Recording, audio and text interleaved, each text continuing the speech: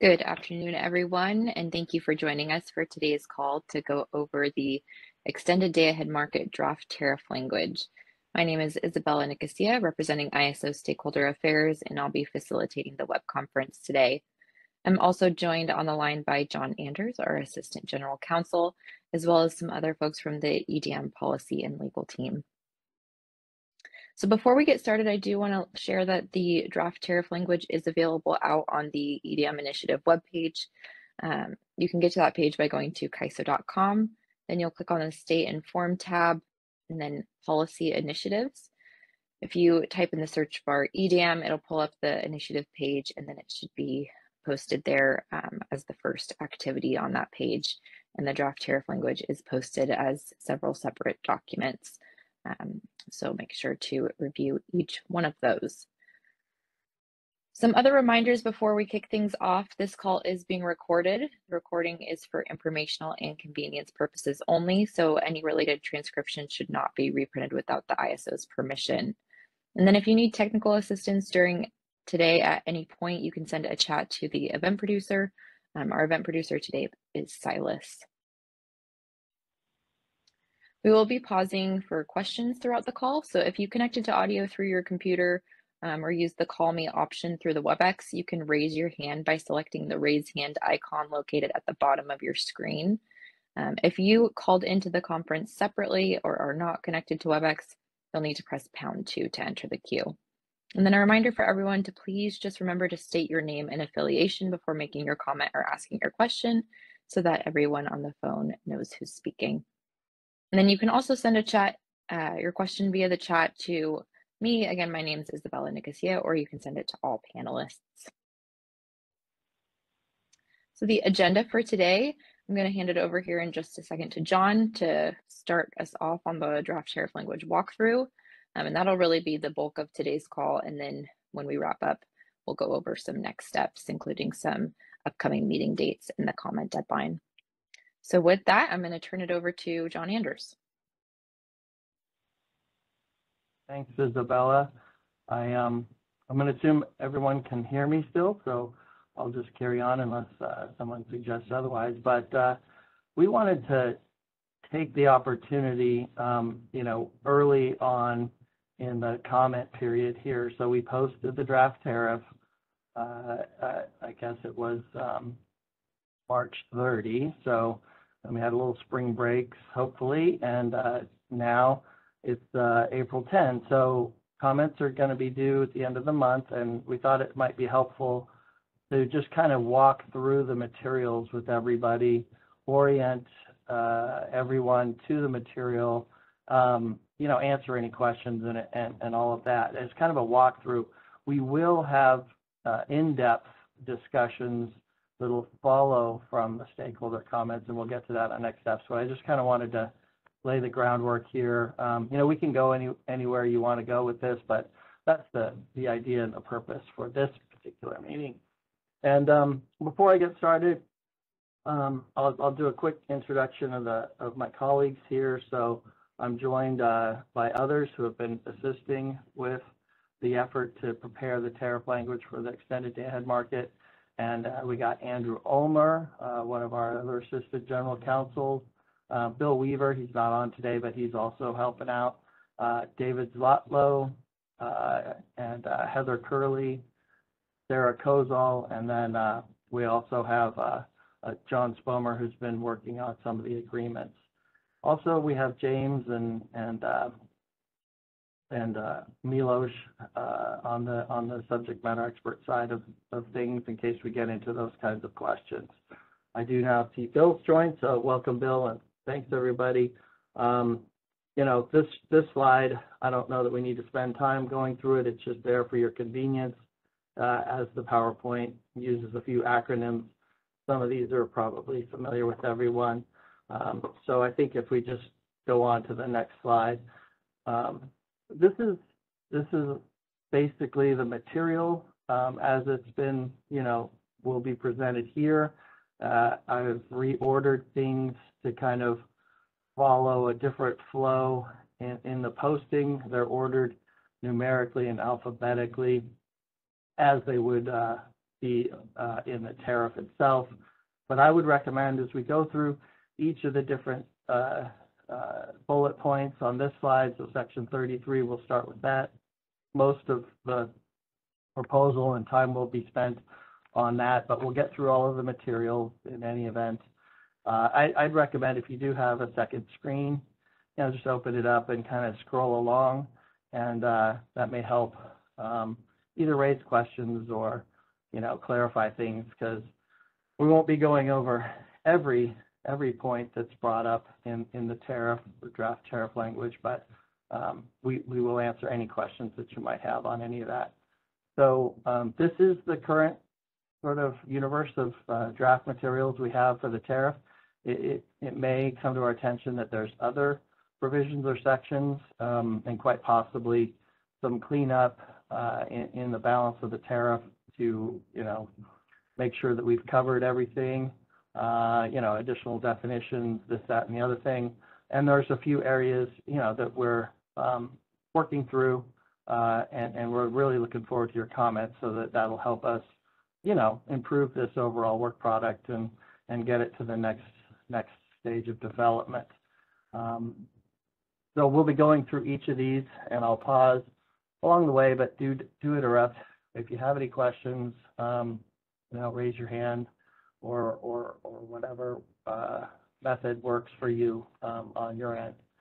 Uh, so Isabel, I think we can go ahead and get started.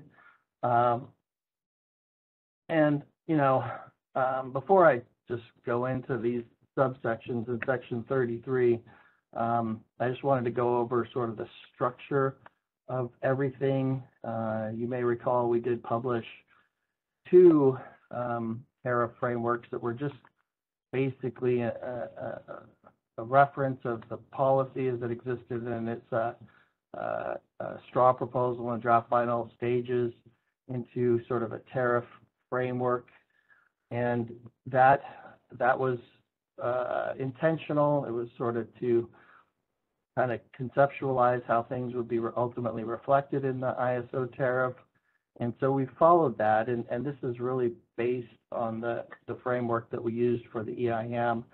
So the context is similar, some of the uh, descriptions may be similar, some of the levels of details may be similar, but our main challenge, and it, and it continues, is to appropriately reflect the participation in the day-ahead market and the real-time market and we'll get into this a little bit when we get to section 29, but to essentially allow for the seamless participation of an entity within both the day-ahead and real-time markets, and also at the same time, we have you know full participants in the CAISO balancing authority area, and how uh, that that is all interrelated in a way that that is uh, workable and consistent and we've done this in a number of different places in an effort to uh, be clear about all of that and also to um, uh, delineate different roles and responsibilities along the way. So for example, um, terminology, you know, even beyond the defined terms is really important in this in this context. And I'll just highlight a few, but there are others. So we have uh, you know, a defined term of an EDAM entity. So, so when we say something like uh, an EDAM entity balancing authority area, we are being specific to EDAM entities and the operation of the day-ahead market in their balancing area. When we when we use the term a balancing authority area in the EDAM area, that is used to mean the CAISO balancing authority area and the, all of the EDAM entity balancing authority areas.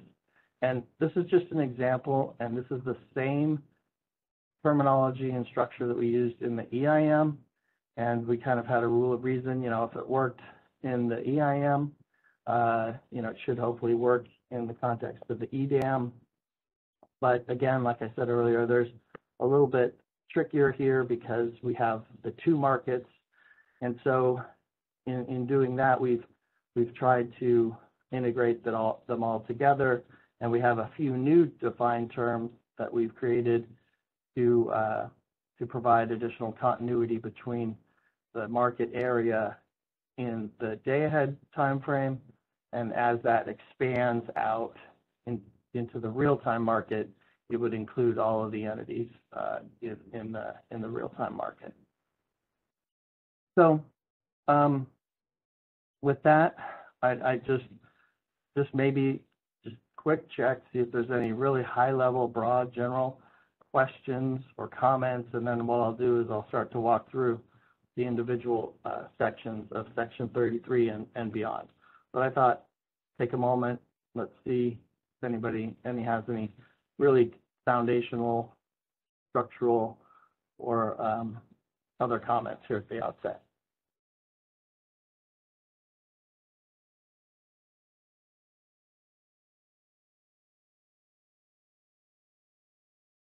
All right, looks like we have a hand from Kathleen. Hi, this is Kathleen Colbert from Vistra. Can you hear me? I can. Thanks, Kathleen. Awesome. Um, I just wanted high level, and I know we'll submit comments and talk about all this in detail, but to kind of flag for you, it's interesting you bring up that one example of like the EDMBA or EIMBAA versus ISO, um, because it's one of the parts of the existing tariff that I've actually had a lot of challenges with. So there might be a few things that come up like that. Um, I think the main challenge that we've had with it is, is there's been a lot of confusion over whether CAISO is even in the EIM, which sounds kind of silly for folks who are close to it, but the way the wording has, I think, been done just created some confusion. So we might want to think about that when we are thinking about the EDAM tariff and maybe some conforming cleanups on the EIM side. I know we've been trying to do like CAISO EIM BAA versus non-CAISO EIM BAA, just give you an example to try to make it clear when we're talking about how all the different areas participate within EIM versus if there's something really specific to CAISO. Um, but yeah, I, thanks for bringing that one up, John, because it's kind of interesting. It actually has, I think, caused some confusion, at least on the external side. Yeah, that's that's a fair point, Kathleen, and I, I'm not going to admit that, that there's a structural flaw or anything in the in the EIM tariff or the extension of that to the EDAM tariff. And I, I think there might be one point I can make that might help. So it's to actually turn this whole thing around. So rather than thinking of, and in fact, this is how it's written in the in, in section 29 and in section 33 is that energy imbalance market and the extended day ahead markets are not separate markets. It's not the CAISO is suddenly into a new market. It's everyone else is into the CAISO real-time market or the CAISO day ahead market. And you'll see if you read through the tariff, the terminology extended day ahead market or EDAM is used as a modifier or an explanatory point. And we always try, and we may have some areas where we need to work on it, to refer to the operations and functioning of the markets as either the day ahead market or the real time market. In other words, yes, there are differences when it's extended, and that's what the purpose of these sections in the tariff are designed to do in many ways. But for all real practical purposes, it's one real-time market and one day-ahead market, and it's not the EIM or the EDAM. It's the, the CAISO's day-ahead and, and real-time market. So that's, that's an idea. All right, enough about that. Um, any other questions at this point in time before we go into the subsection? Yes, we do have another question from Bonnie Blair.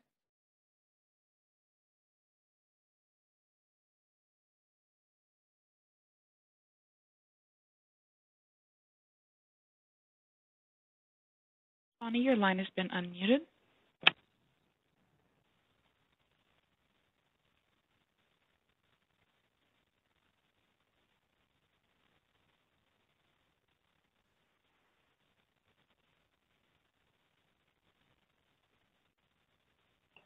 Bonnie, please check to make Hmm. sure you are not double muted on your end.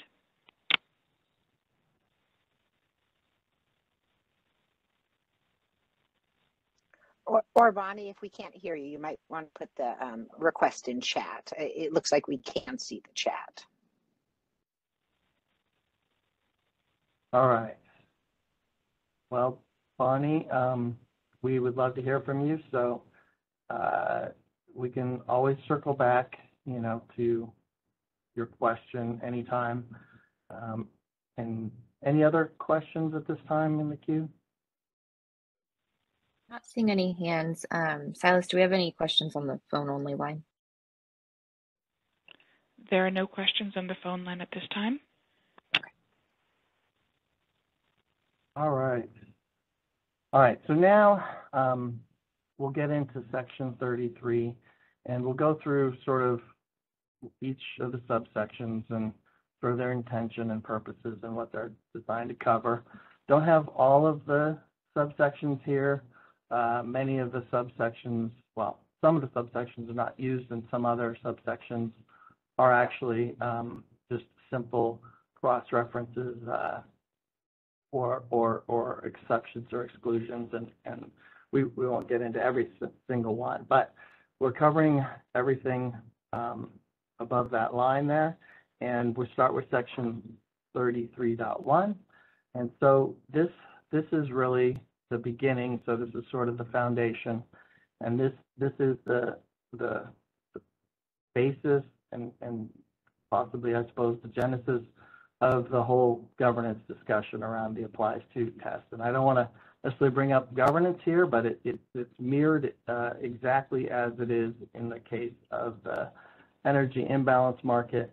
So essentially what section 33.1 does in general, it does describe what provisions of the ISO tariff apply um, to EDAM market participants.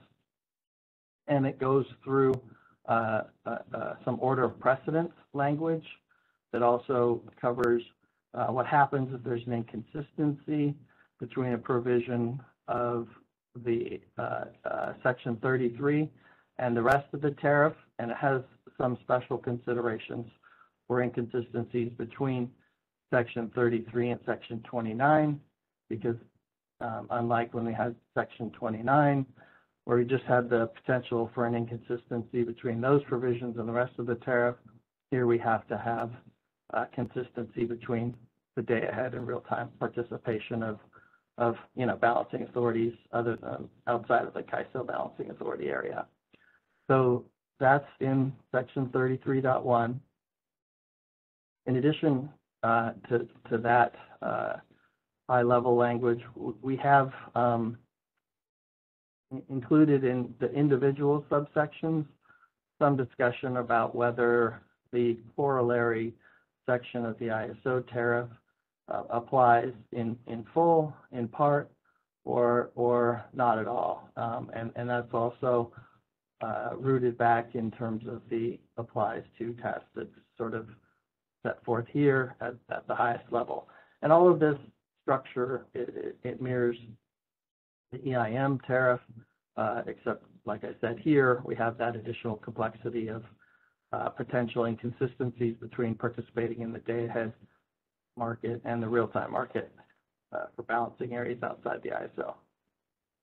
Um, Then the second uh, uh, section or portion of this, section 33.1, it, it covers um, uh, this sort of protectionist measure for the first 60 days of operation after the implementation of a new entity.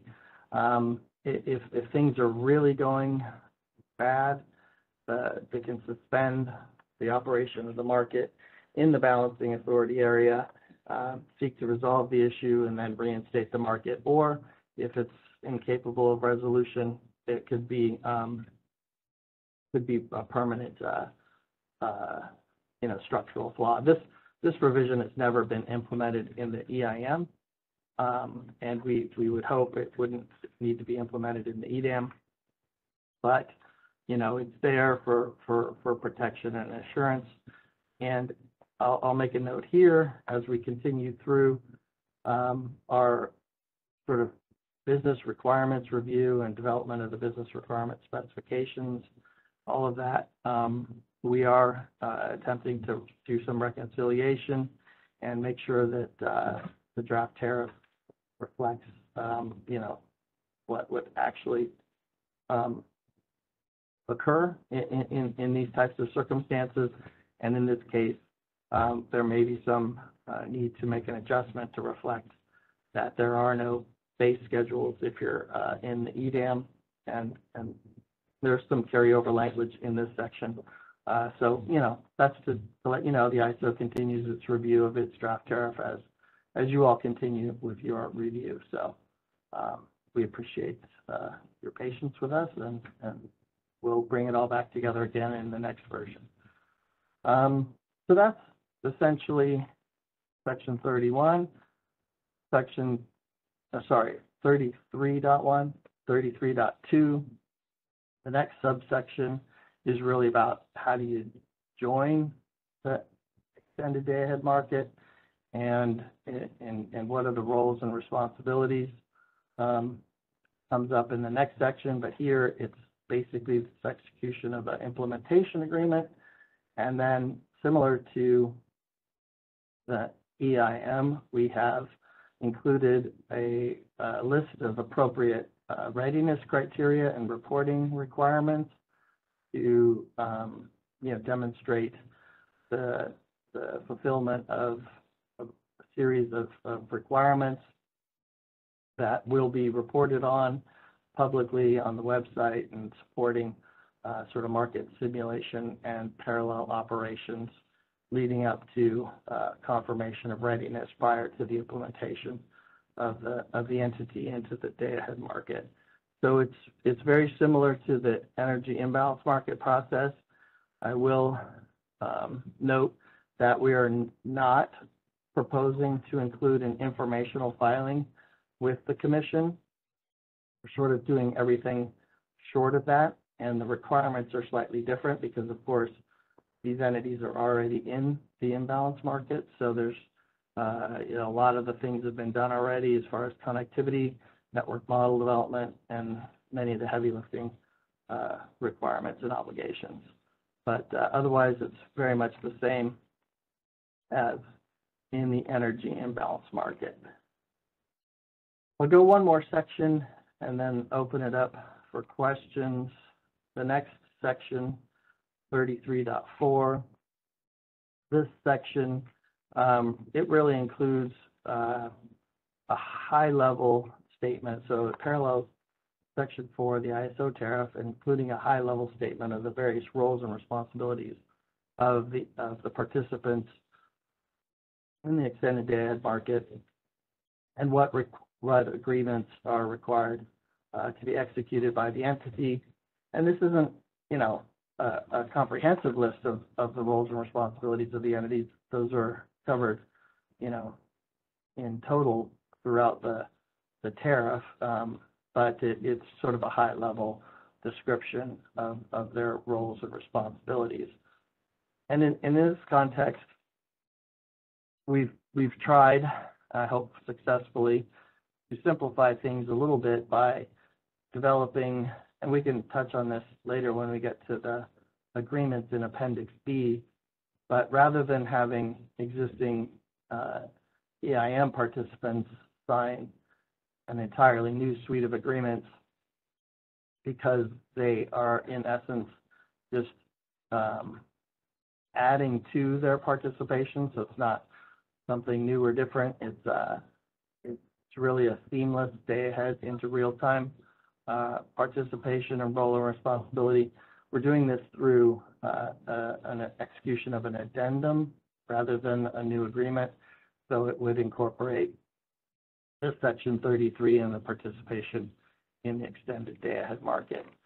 On this point, I'll note this is a, a, a requirement and we'll have to work through it um, in the implementation process.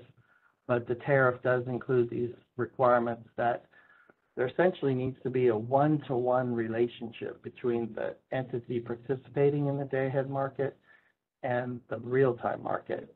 And and this, this will happen and there'll be some reshuffling on the, the schedule one of the participating resource agreement because there'll no longer be non-participating resources. They'll all be under, Uh, uh, uh, they'll all be quote unquote participating in that extended day ahead market. So those sort of details you'd work through within the implementation process. But the, the key is that there's a one-to-one relationship. And this is fairly obvious why, but it's because if you're moving from the day ahead and you're getting a set of, uh, of, of schedules associated with your resources and loads, those need to flow through and are going to be settled out the other side uh, in the real-time market. And you need to have continuity between the scheduling coordinator IDs that represent the participants in, in those two uh, timeframes. Um, I guess the last point I'll make here is there is a new concept, and I don't know if it's entirely new, but it's uh, it's the concept of an EDAM load serving entity, and and what this is is intended to cover would be if there are loads, say a, a municipal utility or an embedded uh, transmission dependent utility within a, an EDAM balancing authority area that um, was authorized, you know, by the entity to serve the load, that they could represent the load um, and bid that in to the to the day ahead market, and then of course uh, receive the the settlements through through the through the um, real time market with respect to the excuse me load that they represent. So that's, that's due. And going back to that one-to-one relationship I noted, in this case, if that um, load serving entity doesn't have to be a sub-entity within an EIM balancing authority area, but if it were, you'd want to have a same one-to-one type of relationship between the load serving entity in the day ahead and the sub-entity in the real time. But if there's not an associated sub-entity, this uh, load serving entity could, could just cover both the day ahead and the real time, you know, settlements of that load. Uh, all right, I think, I think with that covered, you know, quite a bit. We'll, we'll open it up if there's any questions about this.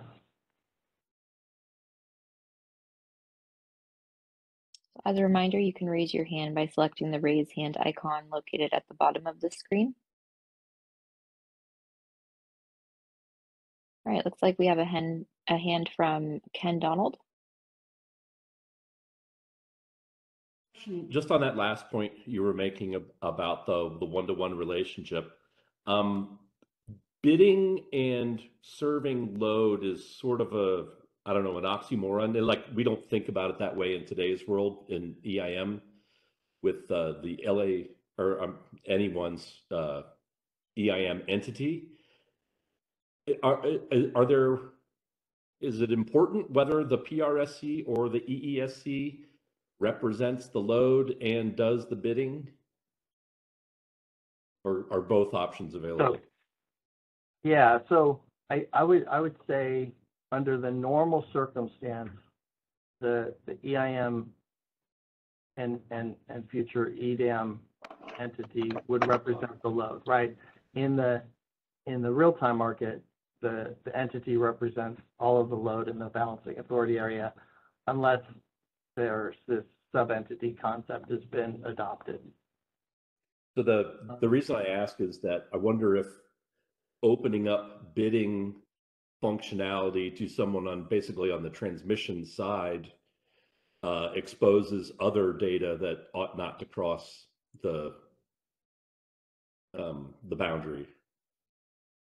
So, yeah, I, I'd have to give that a little bit more thought, Ken. I, I, I guess our, our thinking was similar to, to how it works in the, in the ISO's balancing area. We do have, you know, uh, community choice aggregators and, and load serving entities, um, that, that represent load and, uh, and, and we wanted to recognize that concept in the day ahead market, um, for outside of the Mm-hmm. And, and I'm ISO. familiar with that being the way it works in other markets too.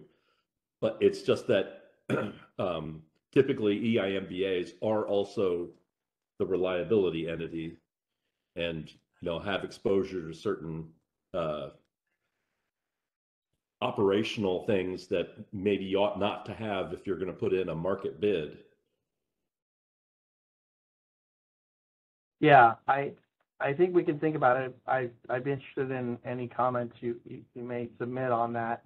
I guess the, the one, one requirement, which is similar to, uh, the sub-entity concept, is that this separate load serving entity has to be sort of authorized by the EDAM entity. So there would be, you know, they, they would have to come to some understanding and agreement about that.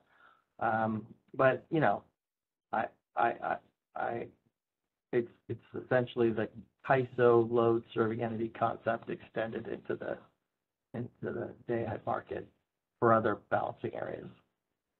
I don't know. Is that helpful at all? Yeah, I understand where you're going and I'll, I'll uh, coordinate with the other Utilicast folks to send a consolidated set of comments. Yeah, that's helpful. Yeah, I appreciate that.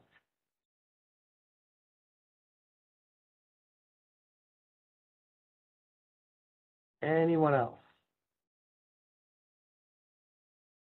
Yeah, we did actually get a, a question in the chat, so let me read that out. Um, it's from Bonnie Blair from the Six Cities. Um, the question is in regards to the distinction between EIM and EDAM entities. Um, so all EDAM entities are also EIM entities, but not vice versa. Uh, does CAISO intend to call EDAM entities just EDAM entities with the understanding that they're also EIM entities, or does it intend to differentiate ba- based on the day ahead versus real time market? Yeah, that's a good question. So we've taken the, the latter approach. So we have, we have not consolidated their, uh, naming, you know, convention, uh, into a single, say, EDAM entity. Uh, we, we call them in the day ahead, they're an EDAM entity, in the real time, they're an EIM entity. Um, and, and we've taken some uh, uh, time and, and thought in section 29 to describe some of the differences, uh, because things happen in the day ahead timeframe that, that, that result in, uh, you know, uh, uh, market results and other things and, and things happening that, that are not present if you're just in the real-time market. So we've done that. Um, we think this is the right way. Otherwise, it, it would get quite a bit more complicated and, and also, uh, it's a voluntary market. So if an EDAM entity withdraws but stays in the, in the real-time market, um, you know, this way, uh, it- you know, I don't know, seems seamless and workable to us, but, uh, we'd, we'd appreciate any comments on that, Bonnie, if, if you have any. Looks like we might have another question, um, coming in. Isabella? Yeah, um, could you briefly discuss the onboarding fee in section thirty-three point two point one? Um, is that the hourly fee for assistance in setting up participation or something else? So that, that's the implementation fee, and so it's as it was described in the policy. So that's the hourly fee, um, and it is essentially, what happens is the ISO, uh, it makes an estimate and collects an upfront deposit. I think, I think the paper suggested, uh, on average, a three hundred thousand dollar deposit for implementation costs. Of course, that would vary by utility or entity. And then the ISO would, would, would, would track the time it spent working on the project to implement the entity and account for its actual costs against that deposit. And then, then that deposit would be refunded with interest if there was, uh, if, if that was not, if that was more than sufficient. If it was insufficient, then an additional, uh, I think in twenty-five thousand dollar increments or something like that would be invoiced um, to cover the additional costs. Again, with a final accounting of all costs and, and interest and everything at the end.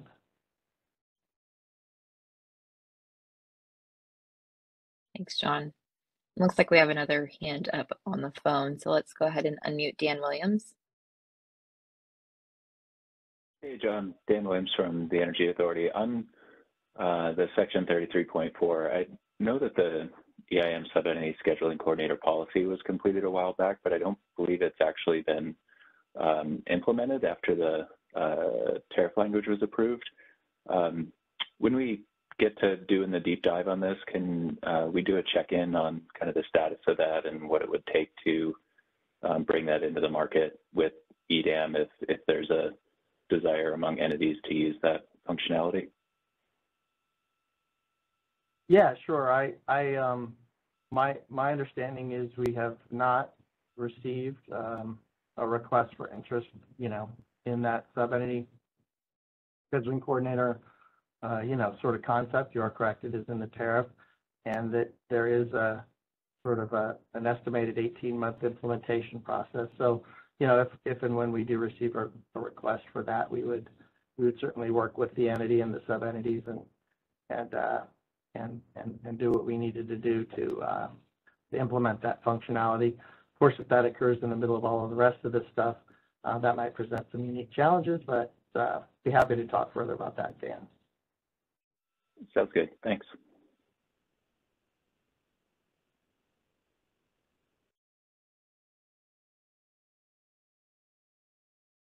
Okay, uh, Silas, do we have any questions on the phone only line? There are no questions on the phone line at this time. Okay. Okay. So now we'll sort of shift gears a little bit, um, kind of from, you know, sort of participation and joining and, and that sort of a thing into a little bit about operation. Um, that starts with section, uh, 33.6. This is really just the communication requirements. A lot of it cross-references back to section six. And it's all about, this is really the ISO's OASIS publication uh, and reporting uh, requirements um, in many cases. And, and in, in some cases, it's uh, sort of the entity's responsibility to, um, to meet certain technical requirements. And then what happens if there's a loss of communications? Uh, and, you know, particularly around some requirements around variable energy resources and hybrid resources. But uh, overall, um, it's mostly all about the CAISO's OASIS and, and all of the information that's, that's reported, reported there. Um, go to the next slide, Isabella. So section 33.7, this really gets into the um, core operation of the market, covers both normal and emergency conditions, and then it provides for um, uh, market disruption. And, and, and in essence, what, uh, sorry, what happens is this is, is relates back to some of the provisions that the ISO um, implements when it experiences a market disruption. And it, it tries to take those provisions and incorporate the concept of a, of a, of a separate balancing authority area and what the roles and responsibilities of the different uh, entities would be under those circumstances. And, excuse me, much of this is, um, is familiar to some um, from the energy imbalance market. And it, it covers things like, you know, uh, the uh, sort of the suspension of, of transfers, isolation of a balancing authority area, continued operation of the of the real-time market within the balancing authority area, um, and all of these kinds of things. And from those sort of more extreme measures to simple, um, you know, uh, what prices do you reference if if there's a failure of the market and and those kinds of things. So that's covered in this section 33.7. And um, there is also um, some provision about uh, the modeling of EDAM transfers. And more importantly, perhaps, is the, this is the section that, that establishes the transfer priority for EDAM transfers.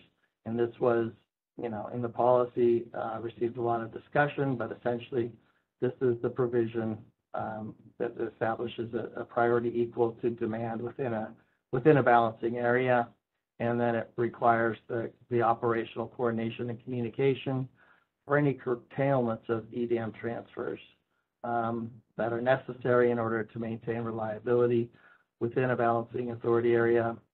And, and, and so that's what, the reason that's all here is because this is about operation in the market under normal and emergency conditions. So, um, it's there.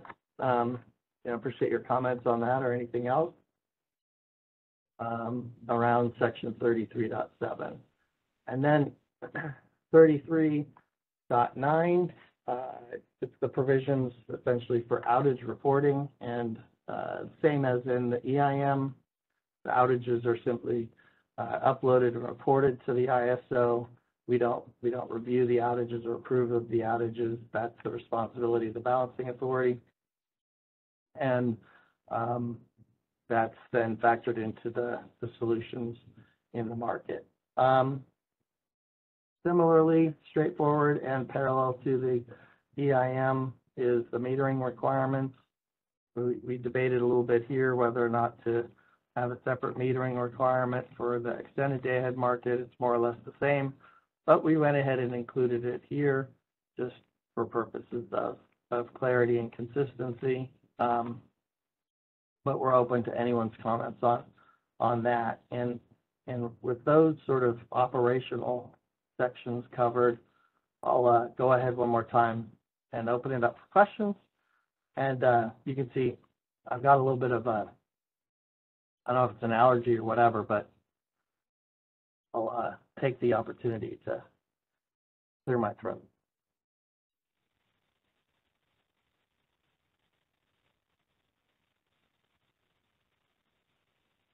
Silas, are you seeing any hands on the phone line? No, there are no hands up at this time. Okay, I'm not seeing any in the chat or um, any hands raised. All right. Well, we'll keep going. Um, so section 33, oh, looks like Alva popped in. I don't know. Alva? Yeah, let's go ahead and unmute Alva. Yeah. You hear me? Yeah, a little bit light, but I can hear you. Okay, I'll try to get it. I, I'm just curious about this, um, about the, and, and actually, I'm sure this has actually already been worked out in the EIM, but the, as you just sort of described, uh, the re- requirements for outage reporting, it, it, it struck me that, uh, essentially, um, the CAISO market operator takes all outages from non-CAISO, uh, out, uh, all non-CAISO outages that are submitted by EDAM BAAs are, are, are taken without any review. Uh, uh, and that actually struck me as quite a, quite a carte blanche. Is that, has that ever been brought up as an, as an issue versus what is done in reviewing outages within CAISO? And I'm, I'm sure this is beyond the scope, but I was just wanted, was just curious with, briefly about that question. Yeah, no, it's a good question, and, and it, I don't know that it's come up since we thought it through in terms of the real-time market, but, um, you know, we view the outage reporting and, uh, and evaluation and approvals and all of that for, for transmission and for generation as a reliability function. So because we're extending only the market, the reliability function stays with the, uh, the balancing authority, transmission operator, et cetera. And so, um, we, we, we do not extend our review of that. Certainly, um, you know, market monitoring and that kind of a thing would apply to, uh, this, this, th- these circumstances if, if there were, uh, some sort of identified issue. I, I'm not aware Um, maybe somebody is, but I, I personally am not aware of an issue that's come up in the, in the real-time market so far uh, around this, but, you know, I appreciate that, and, and the day ahead is a big, bigger, bigger deal, obviously, in many ways, so, Right. yeah. Right. I mean, the thing is that s- in some cases, the clearances are, uh, ha- uh, you they, they, they provide a, a, a, a lot of, uh, uh, capability to influence the market. And sometimes, and there's also sort of gray areas in terms of whether a particular clearance is strictly a, a um, you know, kind of a, a minimal representation of something versus, uh, you know, more a way of, of, uh, of addressing some, some operational issues in a, in a convenient way. It just seems like some of that may get, um, lost in the, in, in, in this.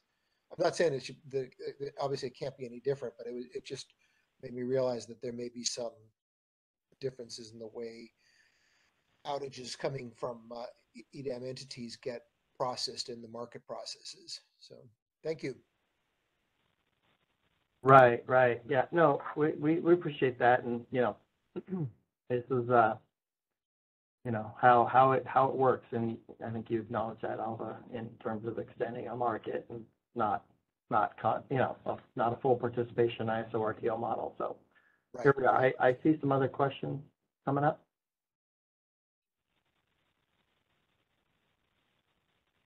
Yeah, let's take Ken, Ken Donald's question. Hi, yeah, I just wanted to build on the last comment that I think there are some um, suboptimal results of outages and uh, and not being coordinated with base schedules in EIM. Um, currently, I think that there is uh, no nothing that rejects a base schedule for a generator that's on outage or a base schedule that exceeds a D rate for that generator. Um, and I, I believe, I might have it backwards, but there, in one case, the base, the base schedule is not used, I think, in settlement of the, the resource, but then it is used in, in determining what the load base schedule is. Um, in either case, I think those, the, the consequences of that are isolated to the E EIMBA because it's not monetized, the base schedule isn't. But it would, I think, uh, transcend E, EDAM BA borders in the day ahead market. If a resource was allowed to clear when it was, uh, on outage. Yeah, I, I can, I, I, that may be something worth, uh, further consideration, um, and reflection. I think, I think it's, you know, we're just gonna have to pay attention to these things. Um, I mean, unless anyone on the ISO team wants to weigh in on that, um, we can move on to Kathleen, uh, but I appreciate that, Kim.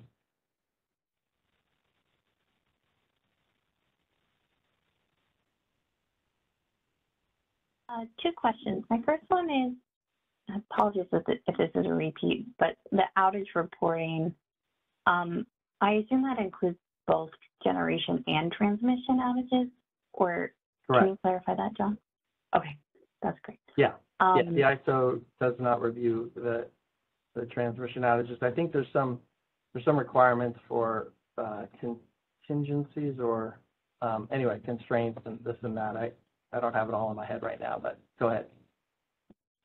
Yeah, no, this is interesting. And um, one of the things that is coming to my mind that I have no, I I honestly, if we could do, add this to the list of things to do a deep dive on would be helpful, is, you know, how we have this concept that there are certain transmission outages that are, have significant impacts on the CRR market.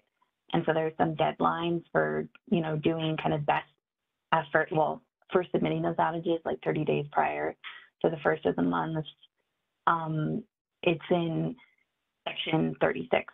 Um, so anyway, as we're talking through this, it's, I'm just, it would be helpful to close the loop or have a discussion to help close the loop on whether or not any of the trans, any other transmission outages outside of the CAISO controlled grid would be considered one of these CRR, like still impacting the CRR results, even if CRRs aren't in the other areas they might have a significant impact. Um, I don't believe we've discussed this, so if you could flag it, that would be helpful.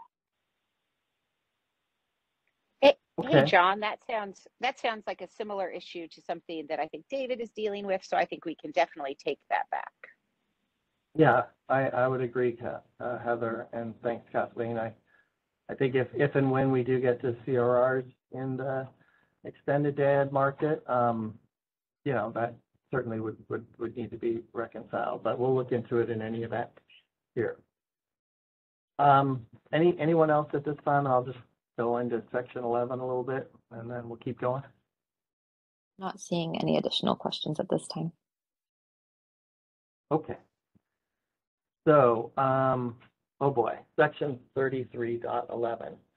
All right, so there's a lot here. This is, um, one of the two probably most extensive sections, uh, not surprisingly, in section thirty-three, um, covers, uh, uh, everything we were aware of in terms of the settlement. Um, you know, you've got, uh, transfer and congestion revenue, settlement, uh, and, and there is some parallel provision in section eleven, uh, of the ISO tariff, and we'll get to that when we get to section eleven. But you've also got all of the resource efficiency evaluation, failure surcharge accounting, um, got market settlements, just in general, um, including some offsets and cross-referencing back to section eleven. Like I said, we'll get into that. And then you've got, last but not least, implementation and administrative charges. And I'll, I'll take a moment here. This is, this is one area where we, yeah, so I, we think that everything's reflected here, but we're still reconciling, um, the provisions in terms of, uh, do they belong in section eleven? Uh, or do they belong in section thirty-three dot eleven? And I say this so, so in the EIM, we kind of took the principled approach that if the settlement provision allocates costs between balancing authority areas, then the, the entire provision would be in section eleven. And then, and then for, for settlements or pricing and all of that within BAA, that could be in section thirty, three dot eleven, in case of EIM twenty-nine dot eleven, in reference over to section eleven in terms of, you know, how do you calculate imbalanced energy? How do you calculate uninstructed imbalanced energy? Those kinds of things. So we're trying to take a similar approach in section thirty-three. We think we still have a little bit of work to do, um, about that, and, uh, transfer revenue allocation is a good one. Um, but we're gonna continue to think about that and work on that. But um, the, the main point is that we have included, um, uh, everything we could, uh, we could identify in terms of, uh, a, a specific, um, settlement, uh, requirement or allocation or calculation in terms of, of, of, of the EDAM, both in this section 33.11 and then, like I said, when we get to section eleven. So, um, Isabel, you want to go to the next slide? I can't really remember where we go from here. There's more. Okay, we're going to jump into transmission. So um, let's take a pause and see if there's anything on settlements. I see Doug both Boccignone hand up. Looks like Doug. Doug Boccignone for the City and County of San Francisco. In the uh, section 11 or 33.11.1, it, at the towards the end, it refers to the transfer revenues being allocated uh, to the CAISO BAA uh, TOR holders pursuant to the terms of an agreement. Are are you anticipating that that will be like like the um, whatever what do we call that agreement Op- operations agreement uh, between the ISO and the TOR holders? Yeah, just Doug, that, that is correct. And just for everyone's understanding, in, in the CAISO balancing authority area for, for, uh, transmission ownership rights at at Interties, um, we have a operating agreement with the, the transmission owner that governs like sort of the scheduling and all of that with respect to that. So we, we were thinking, um, that if there was any specific adjustments or costs allocation issues covered in any of those agreements, that, that, that's what this was intended to capture. And yeah, because what, what I'm a little con- uh, confused about is, you know, there's sort of language in the for trans the EDAM transmission ownership rights. It's a little more clear about what's intended to happen, and you know, in terms of sharing of revenues and whatever. Whereas here, it seems to be a little bit more open ended. Um, and and I'll just note that that that that language is in the section about the energy transfer revenues, but there isn't corresponding language about the um, uh, imbalance reserve transfer revenues and the reliability capacity transfer revenues. Seems like it would need to be in in all those sections. Yeah, so two points. So the first one, yeah, definitely flag that for us in your comments if, if you have a, a, a concern or, or want to articulate anything about that. On the second, it's my understanding at least that the, um, the transfer revenues, um, in terms of what's allocated, it was energy transfer revenues were allocated to the, to the transmission ownership rights holder in this case, um, not the imbalance reserve or the reliability capacity revenues. So in other words, what you're identifying was, I guess, by design in, in the drafting, not, not just an ambiguity or, or, or issue with that. It- And I'll have to defer to others to speak to that if, if, if that causes you concern, Doug. Yeah, I, I maybe I can articulate my concern. I, I, I guess I hadn't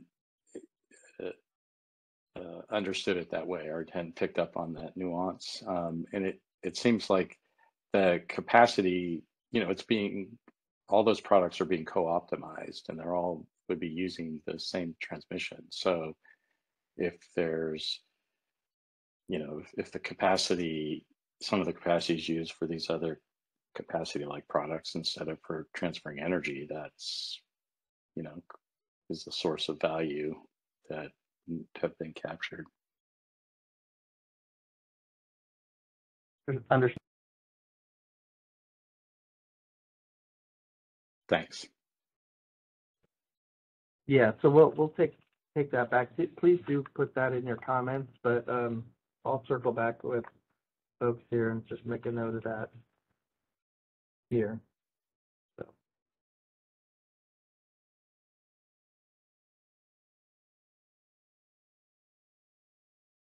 Okay, um, all right, so now we're uh, moving along into transmission availability. We're, uh, two o'clock, okay, we're doing all right.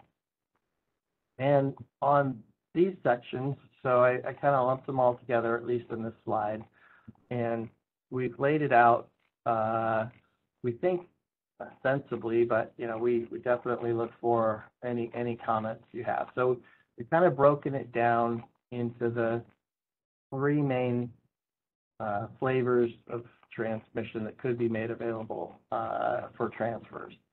So the, the first two would be what we've called EDAM legacy contracts. So these are sort of the, the traditional pre-OATT or otherwise non-OATT arrangements uh, between the transmission service provider and the and the and the other other third party, and then through sort of third party ownership rights in, in, terms of you know third party owning rights and and uh, in, in in a BAA other than the ISO.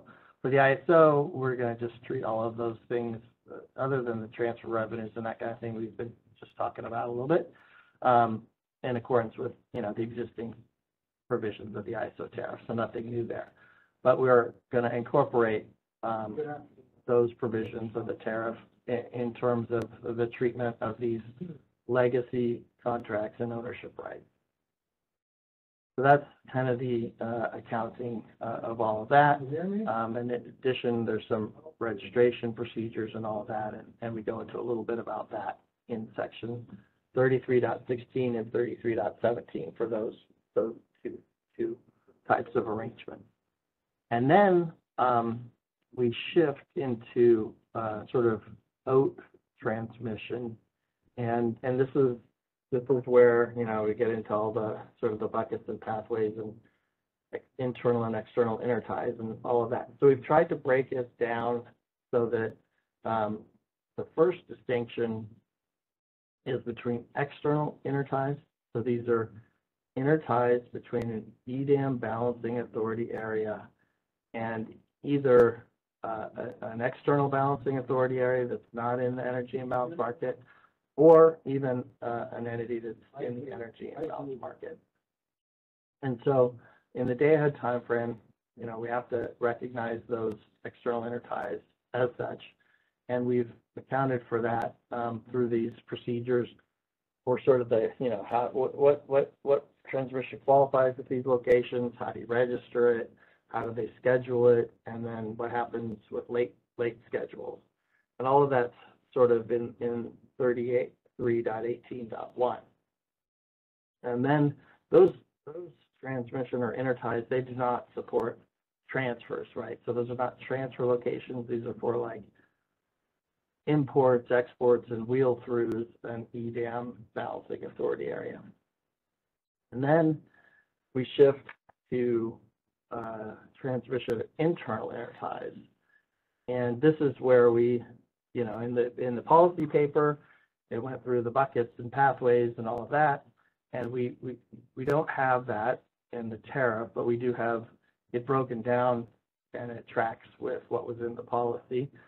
Um, and that's in section 33.18.2. So once again, um, we have, you know, three main subsections for the three, uh, three buckets, what we would call buckets, and then within, uh, the second section, uh, uh, which was called bucket two, we, we have the, the three different pathways articulated there in further subsections.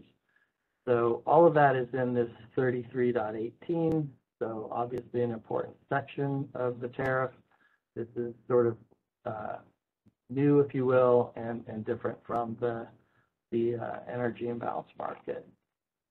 So we have that, and we have the different uh, scheduling requirements and what happens if you submit a late schedule or no schedule at all, um, what happens to available transfer capability, and all of that stuff is in, is in this section. And then the final section in transmission here, in section thirty-three eighteen, we have, uh, covered for ISO, uh, availability. So we have the ISO, transmission availability, has the ISO make transmission available at, at, uh, at EDAM interties, and it, and it goes through a description of, uh, you know, the, the similar concepts in terms of exports and wheeling and available transfer capability on the ISO controlled grid and how that's made available for, for transfers. And then there's a cross-reference back, probably a little bit belts and suspenders, but we go back to section thirty-three with a reference to the EDAM transfer priorities equal to demand, just so that there was no confusion there, but it's not covered in, like, here. Um, and, and those three sections are the majority of the transmission availability.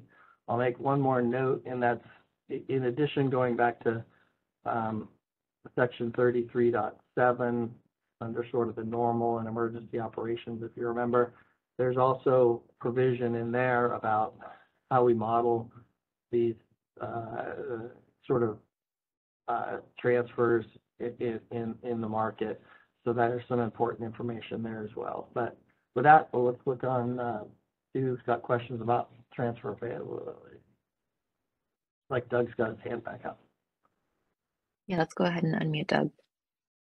Thanks, John. Um, so in this thirty-three point eighteen point three, it looks to me like that's sort of the the foundational section that links or just describes how the TORs within the ISO will be treated similarly to to those in the EDAM entity areas.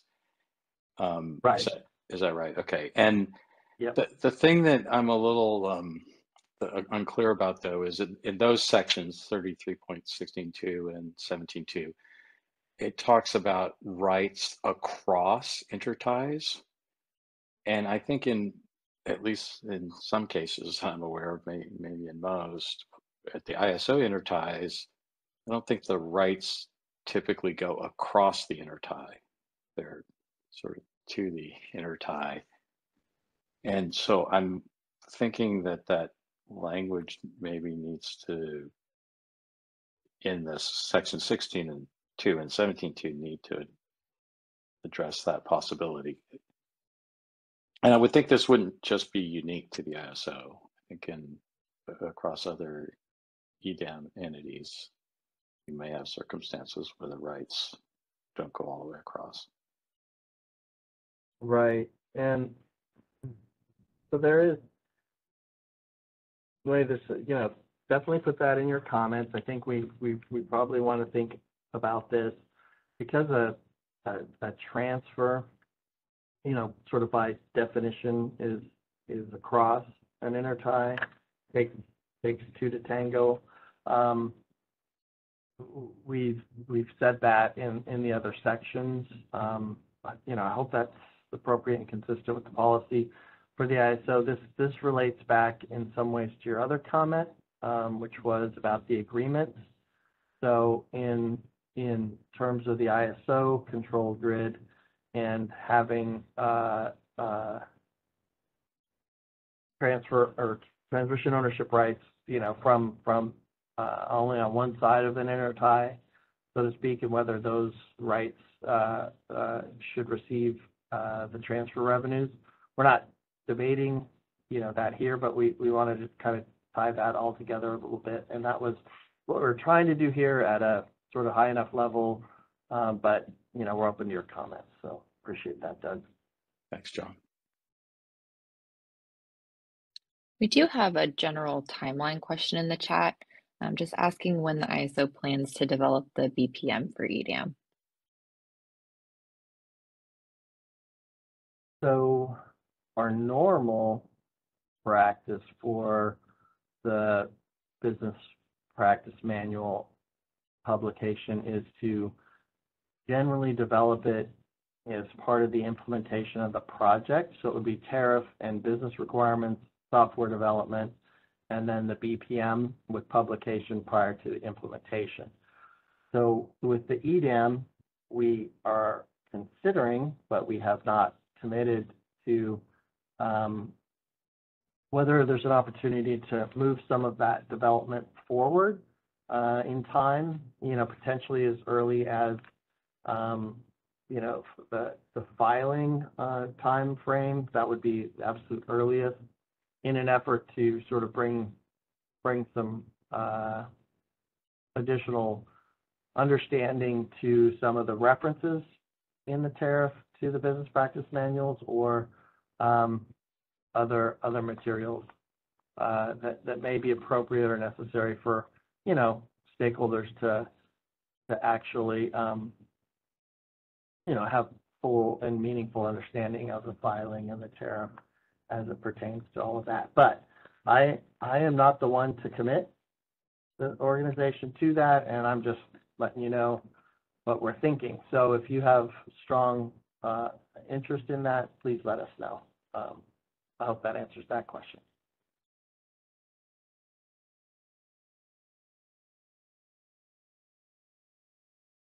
All right, do we have any other questions on the phone only line? No questions on the phone line at this time? Okay.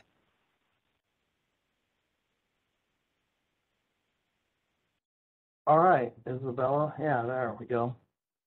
Okay, so um, continuing a little bit with transmission theme, we're gonna move on. Um, so this section thirty-three this, this is the ISO, um, transmission service, uh, section. So this is where we included the, the EDAM transmission service requirements. In other words, these are the requirements within, uh, an EDAM balancing authority area for transmission service in order to participate, uh, in, in the market. And, and this is to reflect the policy that we wanted, or everyone, there was consensus to have a standardized approach on this and the duration of what the requirements were and how they would, uh, they didn't have a reservation, what they would, what they would have to pay and all that sort of stuff. So that's here. And then in, uh, in section 33.26, this is the ISO's, um, provision for transmission service on the ISO grid and the rates and charges for that service. And this is where we've included the, the transmission revenue recovery mechanism, uh, you know, the different components of that from the access charge and how that's developed the, what's, what's recoverable revenue and how that revenue is then allocated out. And, you know, some, obviously there were some discussions around, you know, uh, what, what qualifies, uh, say if it's a new, uh, facility, increases transfer capability, those kinds of things. Um, it's all in the section 33.26 at, at, at a tariff level, so relatively high level. But, uh, we've covered it, you know, fairly completely, we think, in this section. So another, uh, important section, um, in terms of transmission, this is the, uh, recoverable revenue, uh, provision. I will, I think, let me see. Yeah, let's open it up for questions, see if anybody's got any question on this transmission services and revenue, uh, recovery mechanisms from the tariff, and then we'll go into something a little bit different with, uh, sort of modeling and bidding. As a reminder, you can raise your hand by selecting the raise hand icon located at the bottom of your screen.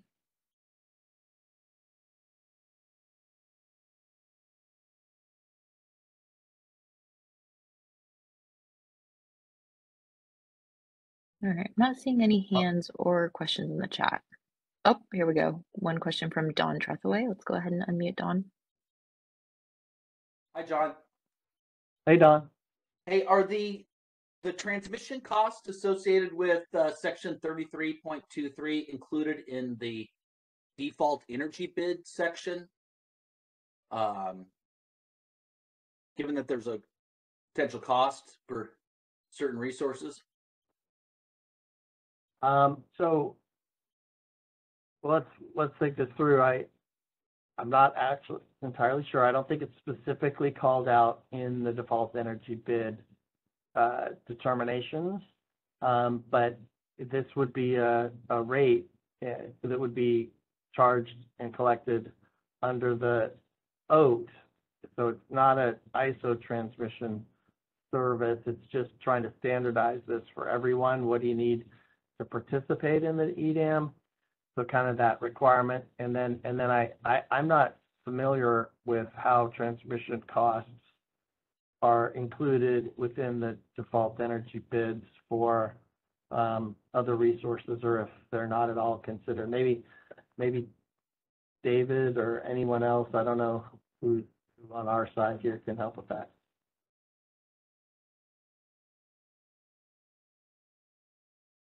Um, so yeah, this is David. I think, can, can I just restate what I, is the question, and I don't think I know the answer if I understood the question right, but it was it whether the cost of transmission will be embedded within default energy bids?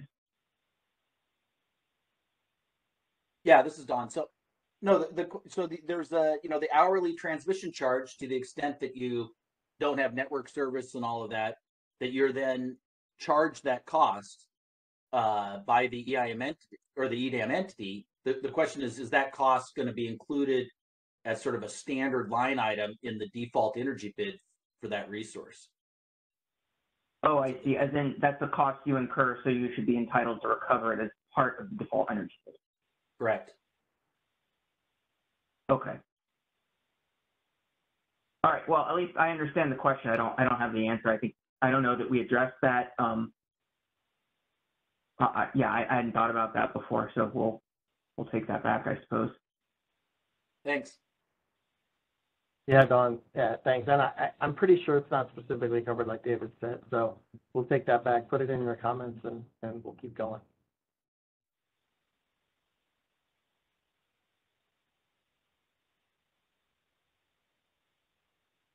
All right, uh, so now, uh, we'll shift gears again a little bit and, uh, cover, uh, a few sections around sort of modeling and bidding, and now we're getting a little bit into more uh, of the market uh, and the, the processes uh, around that. And so the first section 33.27, this this includes um, so in, in the ISO tariff or the ISO controlled grid includes a, a lot of uh, uh, material around you know constraints and, and, and enforcement of constraints, priorities, and this, that, and the other thing in the market. So in terms of the the extended day ahead market, um, we do have that transitional protect protective measure in that we, we, we call it shorthand, the price discovery mechanism. So essentially, or you can call it the,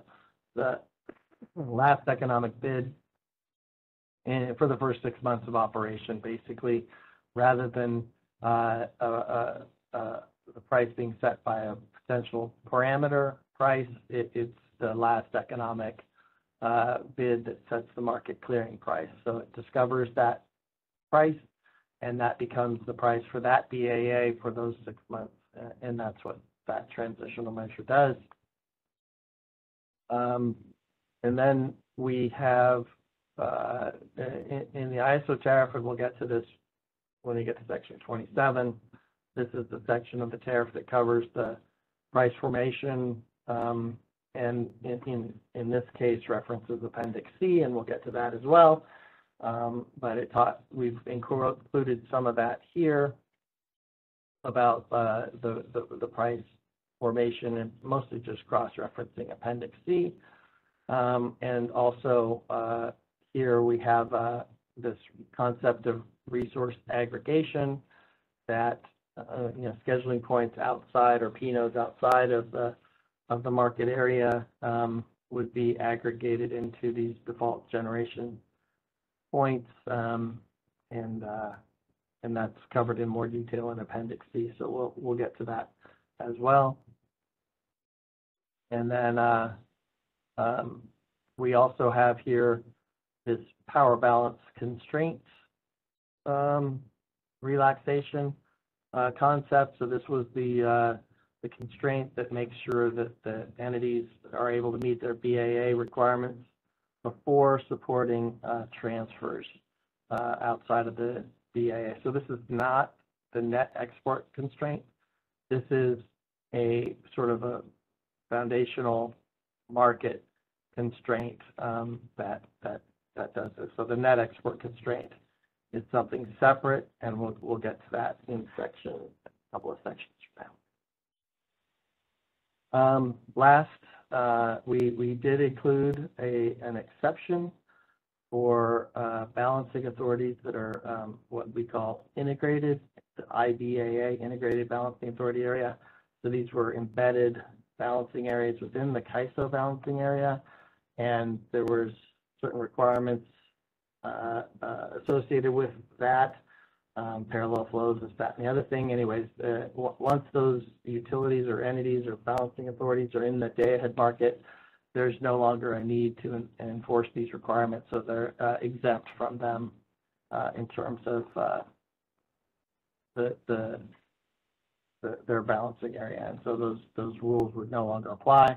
They're still in effect if uh, if they reverted back to the energy imbalance market only, or all the way back uh, to um, outside of the CAISO markets. They would they would bring back into effect. Um, all right. We'll keep going. Uh, the next section, 33.30. So this is sort of the bidding and scheduling rules, and uh, most of most of these provisions will be as is in section 30, and they're all incorporated by reference.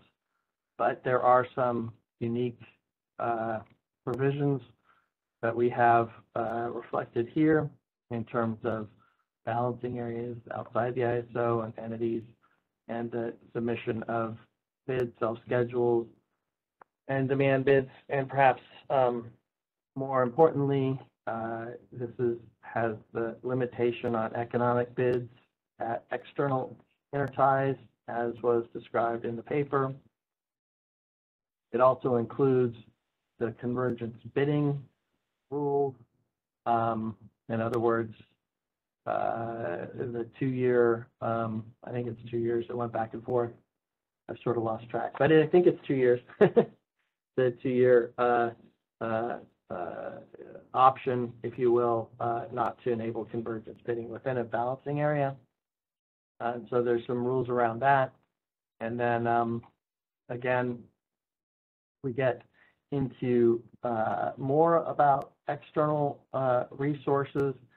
So if you'll recall from the policy, there was a lot of discussion around participation or counting of external supply resources in the resource sufficiency evaluation. And so this is the section that covers the different rules and requirements about those delivered firm energy contracts and, uh, you know, pseudo ties or dynamic schedules. And all of that is here in section 33.30. Um, finally, we have a provision that says that the day ahead schedules are what count in terms of the EDAM entities transition to the real time, so they no longer would submit a base schedule. It would be the day ahead schedules would, would become in essence what was previously a base schedule or base load schedule in the real time market. Hmm. and think I'll check for questions and then we'll go into, um, yeah, let's check for questions and then we'll go into the, the extended day ahead market, the, the long, you know, whatever, section 33.31. All right. Oh, Alva. I have a question about convergence bidding. So currently, and I don't know how exactly how this is specified in, in the tariff, but currently the CAISO has the ability to define locations where convergence bidding is is not um, going to be permitted versus locations where it is going to be permitted. And I, think among those are um, maybe tie points, or at least it has been in the past. I don't know what the current are. Uh, I was curious as to how that is specified here. In other words, even if a, a, a, B, a BAA could theoretically be uh, bound to provide convergence bidding, could they just simply say no convert, none of the points within their balancing area uh, would allow convergence bidding, or is there some uh, um, some definition given around that in this uh, uh defining the that, there, that there's going to be a requirement for this after after two years? Sure. So my understanding, and um, I'll look to Bill Weaver if there's any follow-up questions is that the the external intertie convergence bidding limitations would would would continue um, in the other balancing areas in the in the EDAM. But I I, I don't believe, and it, I think it would be problematic if if if an entity could just say no convergence bidding in any of these points, internal and external, and thereby by somehow, you know, circumvent the, the requirement and essentially nullify uh, the convergence bidding for, for, you know, beyond the, the two-year period. Um, your your sense the only exception would be at actual interfaces to external um, balancing areas. I, I think that's correct, yeah, not, not internal EDAM interties, just external interties. Bill, um, if you have more to add, that'd be great. No, but, um, you know, Alan, if you want to submit that in comments, we'll, we'll take it back and, and definitely, uh, come up with a, a firm answer. Yeah, great, thanks. And, and, and it occurred to me that there's also discre, even, even if in general you allow convergence bidding, I know there have been times when the CAISO has suspended convergence bidding and perhaps the, the controls around that, whether that is entirely done by the market operator or whether that's a BAA function would also be useful to address there.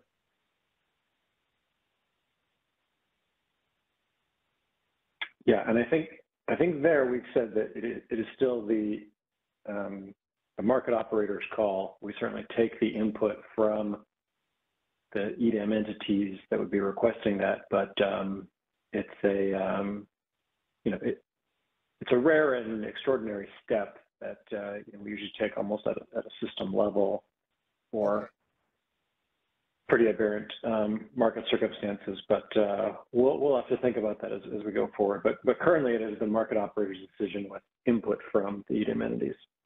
Okay, great. Those both sound like pretty, pretty bright lines, so. Thank you. Thank you. Um, all right, I think, I think we can move on now to the next slide, Isabella.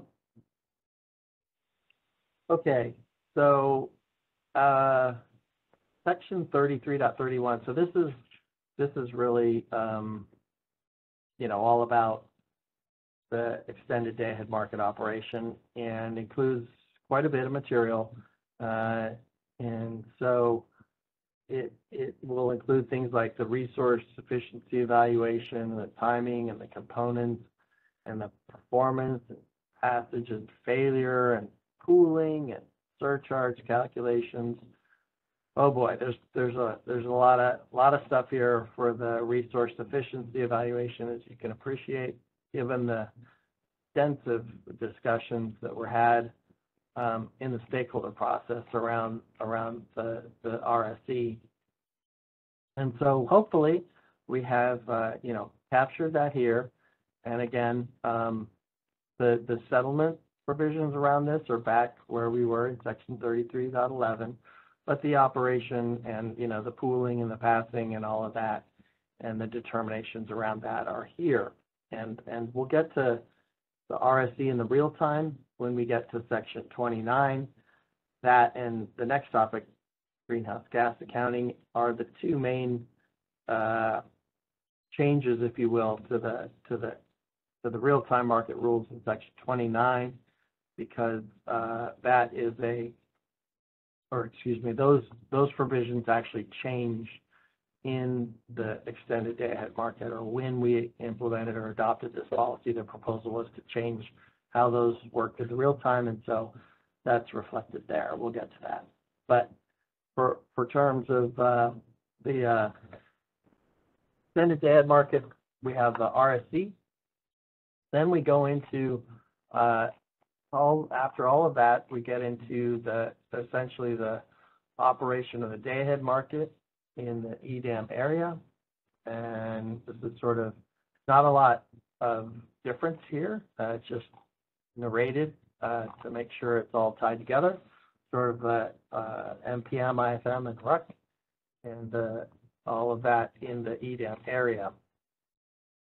And then it goes into uh, uh, another topic of extensive discussions the net export transfer constraint and that formulation for that. So we have translated the formulation into a narrative so that that should be reflected here. And then, you know, the enabling of that constraint and the timelines and the procedures around all of that. Um, but this is a place where we have referenced the business practice manual. So the constraint, the formulation of the constraint itself would be here, but the enforcement uh, or the decision or determination and the timing and the mechanics of how a balancing area would go about that we're deferring at this time to the business practice manual. Um, then we get into, I guess, another important area, uh, certainly is the forecast, forecasting for the balancing areas, and then the treatment of, uh, of demand response programs in, as terms of load modification, how that's accounted for in the forecast. And, uh, and we finish it up with some points around reserve sharing and interchange schedules generally and how the market would account for those. And uh, I think I'll, I'll go to questions and then we'll get, get to GHG, but we'll just check in and see if there's anything around any of that in 33.31.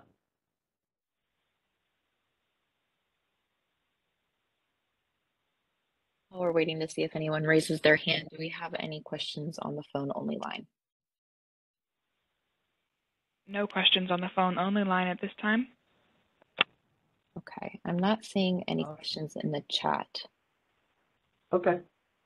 We'll keep going. Um, and, uh, we can always go back if we need to, but the greenhouse gas provisions are here in section 33.32, And, you know, similar to the resource sufficiency or other, uh, proposals, uh, we've reflected the policy, um, as it was in the final paper in, in the draft tariff, uh, sections here. And uh, this is an area, as well as the resource sufficiency I'll mention, and we'll get to it next, I think, but Appendix A, there's some new defined terms that are going to be used in, in different places related to GHG or RSE, and those, those can sometimes be important to review in parallel with, with these. So the GHG, uh, you know, it covers the, the, the differences in the new provisions in terms of the, the bid adders, market clearing, enforcing constraints and the availability of data and information. Uh, a lot in there. Uh, you know, this is not the call to go over all of that. Um, but, uh, we will look for comments on this and I, um, I will look to any questions on GHG if you can, and then we have, oh, no, we- we don't have Sarah. We'll have to call back to Andrew if there's any questions. Ken?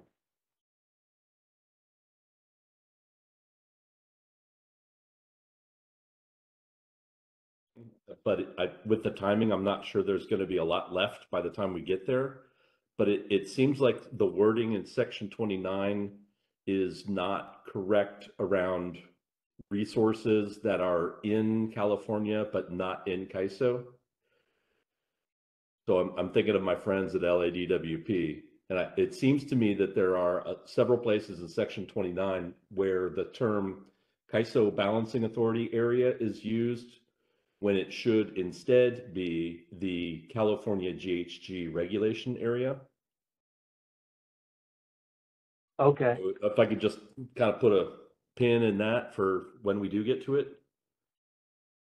yep, yep, you're welcome. And, um, do, um, follow up with a comment, and I see Andrew is unmuting, so see if Andrew has any follow-up. Yeah, we, we, this is Andrew Ulmer. Hi, we, we'll definitely go back and review that. Um, it is a little, a bit of a, uh, you have to, you have to go through the logic game because you have, yeah, resources within the state of California that are within potentially EDAM balancing authority areas, and obviously resources within the state of California that are within the California ISO's balancing authority area. And, you know, mapping, um, attributions now to greenhouse gas zones, um, which is a, a different modeling feature than, than the balancing authority area. So we'll, um, we'll go back though and take that comment, make sure we scour the language again.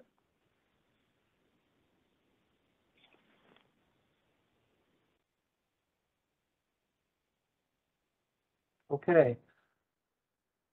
Sarah, maybe we'll turn to you. At the February 1st board meeting where this was, uh, the, the concept was approved, there was something said about the need to do additional work on the greenhouse gas issues, and I think Mark, Mark Rothleder sort of said that, that the CAISO was committed to doing additional work there. Can you speak to that at all? Um, I, I, I can't personally, but maybe Andrew can. Um, yeah, I, I think that what we're doing here, of course, as John said, is capturing what um, was in the final policy in terms of a market design for GHG accounting. Um, that, of course, doesn't foreclose um, ongoing discussions um, stakeholders uh, in our markets, with, with state authorities, um, et cetera, on features of greenhouse gas accounting uh, that, that could be incorporated into our market design. And as we look into the future, I would expect you know those conversations to to continue, and um, you know for the ISO to to engage those conversations in, in an open manner, trying to figure out if there there are refinements that that we could pursue. I don't have a you know specific um, schedule for when those conversations will start or when they'll be scoped out. Um, but I think it is something that we are looking to try to begin um, in the coming months. Thank you. All right, well, thank you, and I, I think this last section concludes, um, section thirty-three. And, and there are, you know, a few miscellaneous important provisions here at the end, um, including rules of conduct, applicability, and market monitoring and that thing, sort of thing. But here we did want to highlight that we have, um, applied the, uh, the, the price correction authority, so extending the, the, the, the, window within, uh, which we could correct prices for six, the first six months of operations from five to ten business days. I think it's five, three, five. I get, it, there's different timeframes for the real time and day ahead market in the CAISO, but here we're saying ten business days for price corrections for the first six months. Okay. Um, I would move on, uh, Isabella, to the next slide. I think it's Appendix A now. Um, all right, so, uh, lots of new defined terms and amendments of existing terms and all of that. So just some thoughts to keep in mind when you're looking at these terms. So similar to the EIM, we tried to use the modifier EDAM in front of all of the, all of the terms that are sort of unique to the extended day ahead market. So EDAM entity, um, that kind of a thing. And so you'd have an EDAM entity and an EIM entity and, and be the BAA that's in the market. Um, there are some general, uh, new terms that apply to, to both the, the EDAM and the EIM. And when, when we have those, we didn't include a, a modifier. So I think diversity benefit is a good example because there's a diversity benefit in the RFP. And if we need to make distinction, we can add EDAM or EIM and create a, you know, I think it's called a, you know, combined term. Um, then we also, uh, included, uh, changes to existing EIM provisions in order to align some of those with EDAM. Most of them, uh, remain unchanged, but there are a few. And then, um, we've amended a, a number of terms uh, that were amended with the energy imbalance market uh, to be consistent with the the um, the, the day ahead market. So we've added um, you know terminology mostly to account for uh, certain you know concepts within a balancing authority area outside of the ISO. Um, quite a bit there, um, and of course, my terms are important, but I'll open up any questions because can't go term by term. Um, but we'll definitely look forward to call, comments on these, this terminology.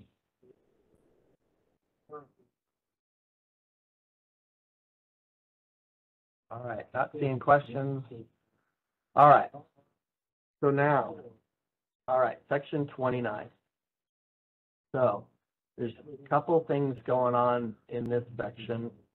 I'd say, uh, well, let's not say first and foremost, but, um, we have three, three concepts. Basically, uh, the most straightforward are the changes to the GHG rule that were proposed as the part of the EDAM that are included in the real-time market.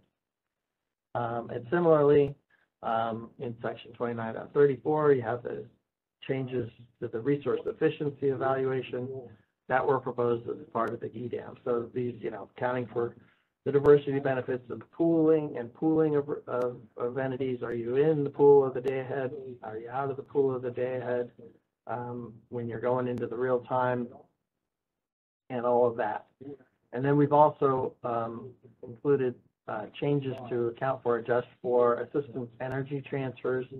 And this, this becomes, you know, a bit complicated, uh, when you're, when you're in the, in terms of the recently filed, um, assistance energy transfer proposal and, and the RSE and the day ahead and in the pool, out of the pool. Anyway, it's all there in section 29.34, and it should tie out with section thirty, uh, thirty-three dot thirty-one. Um, all right, then, I guess, and it's more conceptual, and we have included in a number of locations and identified many of them here, sort of, uh, high level, uh, concepts about either differences or uh, relationships between uh, the, the day-ahead market and the real-time market. And this is all intended to align the participation of an entity within the day-ahead and, and then uh, the real-time as a result of its day-ahead participation. So we had to account for, you know, continuing participation of EIM entities, and then the option for some to move ahead and, and participate in the day ahead. And like I noted earlier, there are some differences.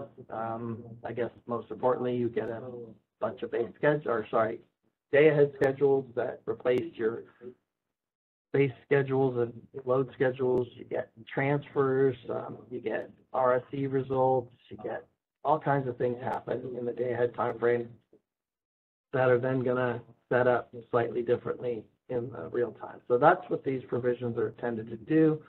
And also then, you know, sort of account for that order of precedent type language and relationships between the different, uh, uh, sections.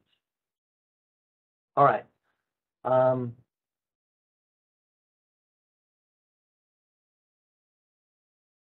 all right, with that, I will open it up for questions on section twenty-nine. All right, it looks like we have a hand from Dan Williams. Hey, John, Dan Williams again from TEA. Um, this seems like as bad of a place as any to ask a question I'm not sure where it should be asked at. Um, but it has to do with kind of um, this scenario of having uh, EDAM entities next to uh, EIM only entities. Uh, so the, the scenario is you have uh, three balancing authority areas, just call them one, two, and three. Um, BA1 and BA3 are in EDAM, and BA1 has transmission rights through BA2 to BA3 um, that are used in EDAM. Um, when we get to EIM, um, how what changes with the use of that um, transmission right in EIM? Now you'd have an ETSR between one and two, and between two and three. Um, how does that get handled for the uh, transmission right that's brought to EDAM directly between one and three across two? Okay.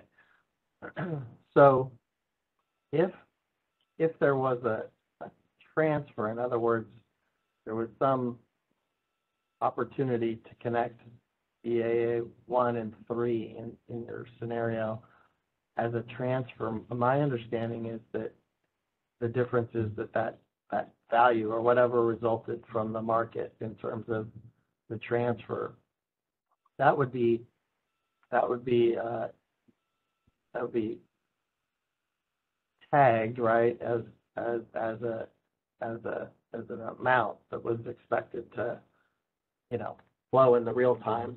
Um, and then that would, that would, that would be true, so there'd be no real difference between adjacent BAAs and the EDAM transfer in terms of how that would work. Um, but I, I, you know, it's not clear to me exactly what, if any, uh, arrangements with the intermediary BAA may be needed. I don't know if those are ownership rights all the way through, or if it's transmission services. I think in the energy imbalance market, there were some arrangements. And, uh, it, it ultimately led to, there was, you know, recognition under open access tariffs about, uh, the, these, these, uh, real-time uses. And, uh, you know, maybe, maybe there's things we can do, um, with intermediary BAAs and work things out. Um, but anyway, I think there's more to, more to, more to do there. I, I'll look to any other, other ISO folks if they have any comments about the, um, you know, the, the, the, your question.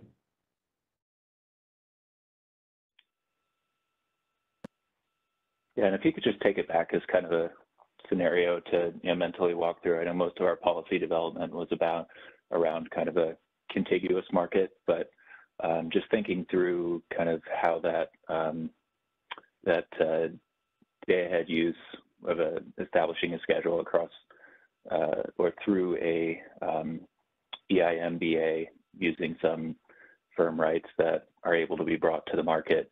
What happens from a congestion rent, cost allocation, and generally um, management in the, the real-time market for doing that real-time optimization that now includes all three BAs and uh, ATC methodology for the ETSRs between um, them in kind of a serial fashion.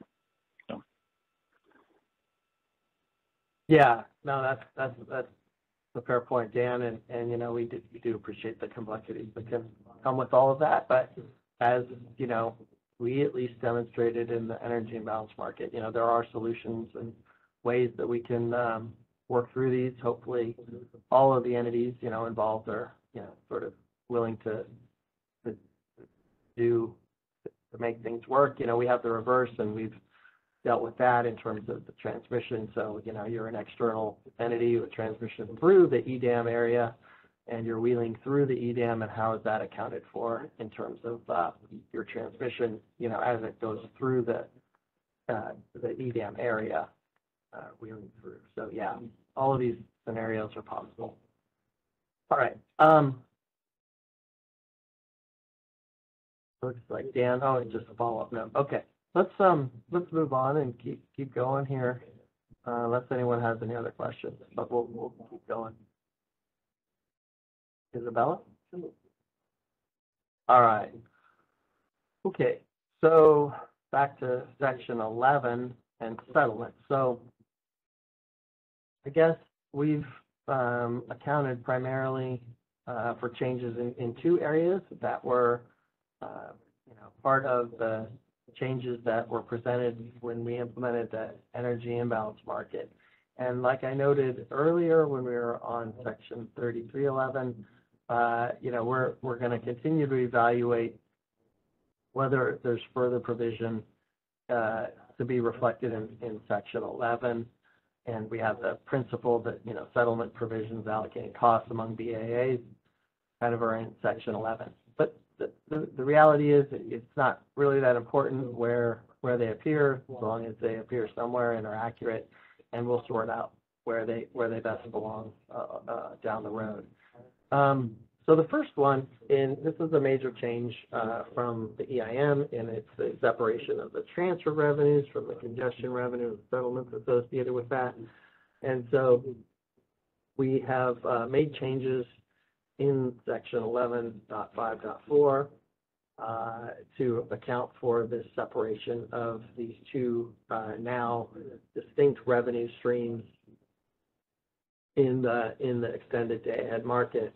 And of course, this uh, accounting will carry through to the real-time market, even for balancing authorities that are not participating in the EDAM. You'll have a, congestion revenue settlement, but no EDAM transfer revenue settlement and, and, and the like. All right, then uh, the second change is in section 11.8, and this is uh, to account for GHG bid cost recovery and uh, just bid cost recovery changes in general. And there's a few a few changes there to clarify how that all works with the new terminology and new mechanisms for uh, recovery of uh, GHG costs.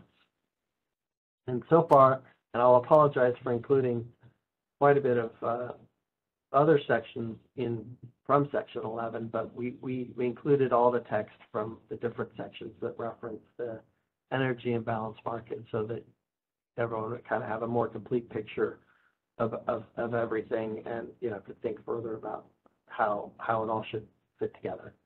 Um, but that's it for section 11, and I'll take any other questions.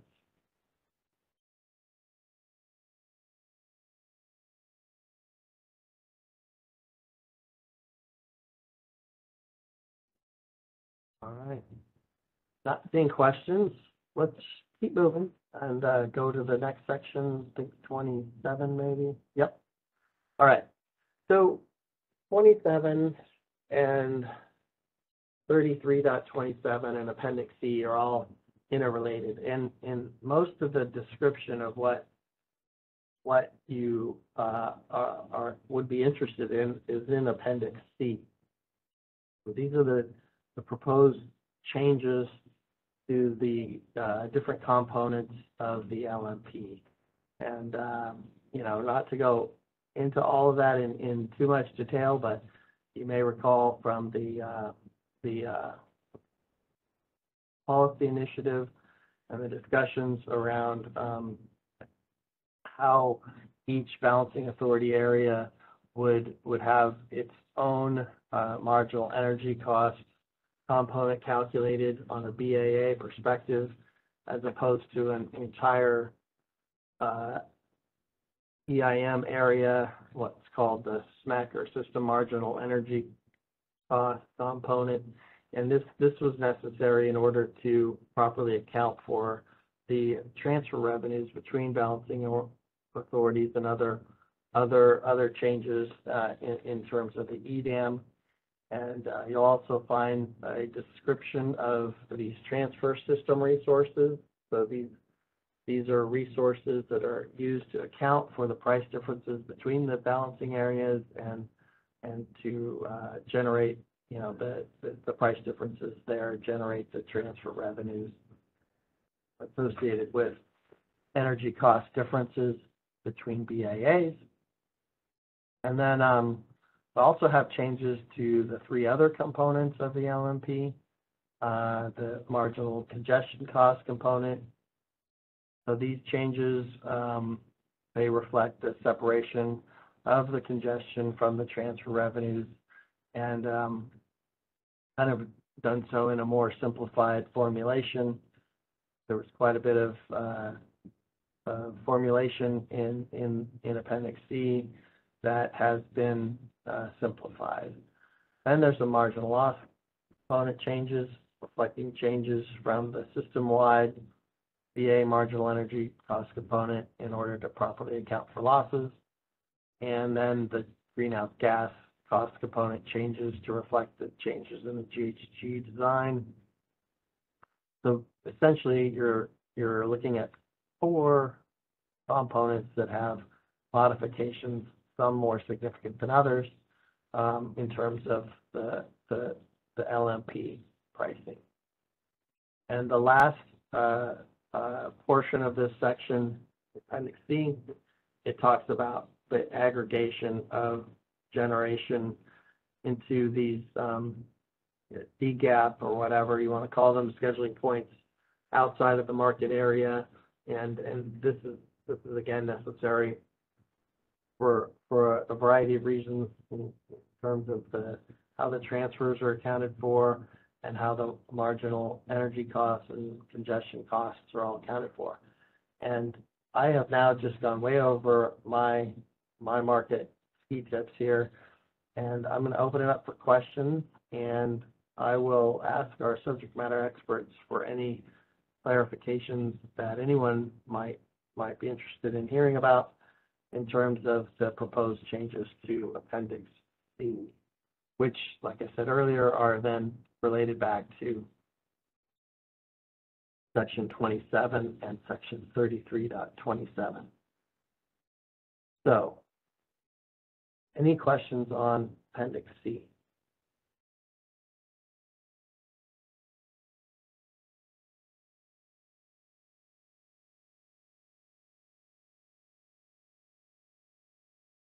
Alice, do we have any questions over the phone only line? No questions on the phone at this time.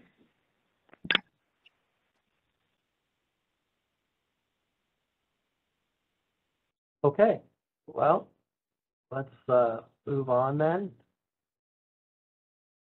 And so I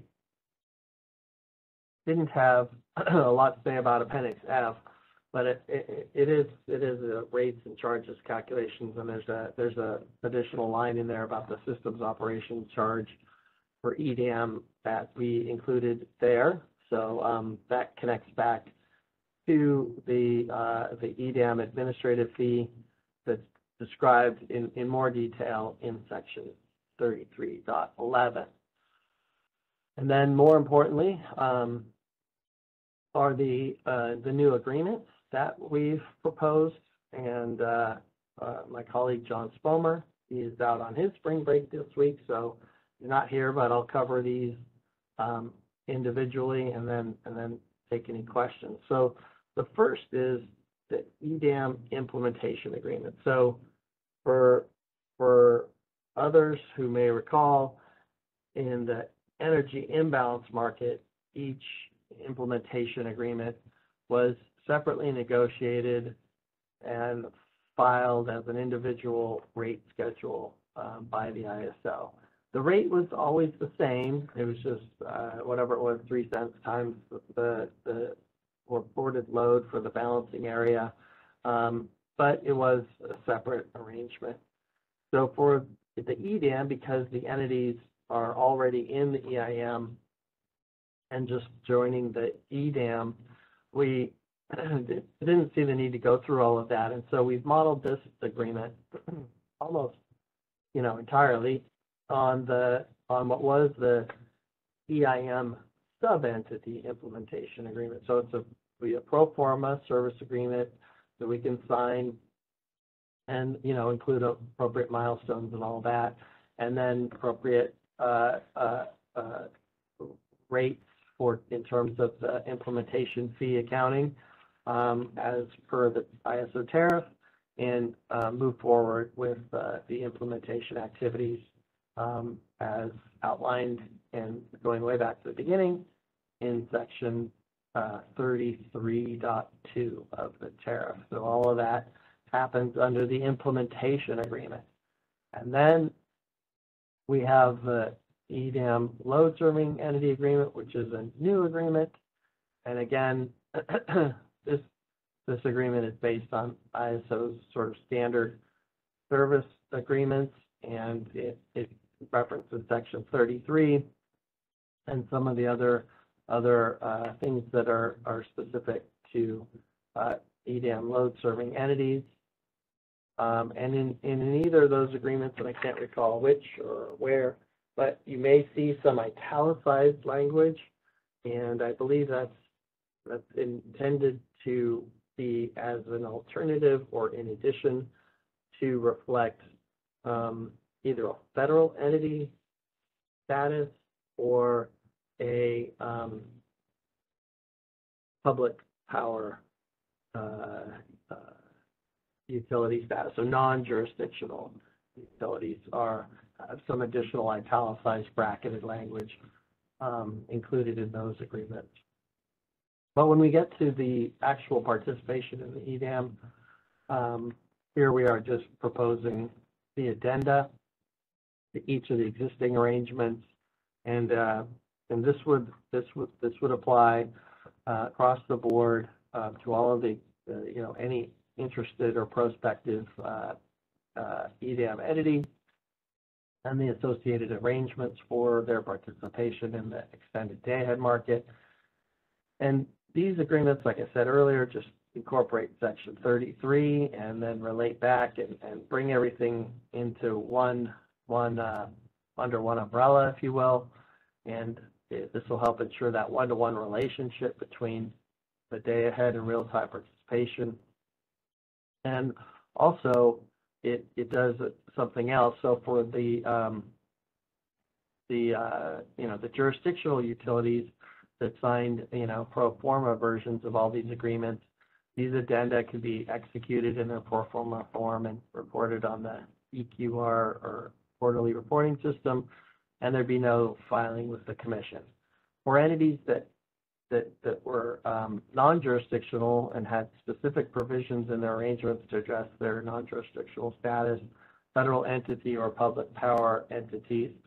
These, these addenda could be executed and simply filed with the commission um, in their pro forma state because in, at least in our view, all of the underlying um, uh, uh, provisions would, would apply.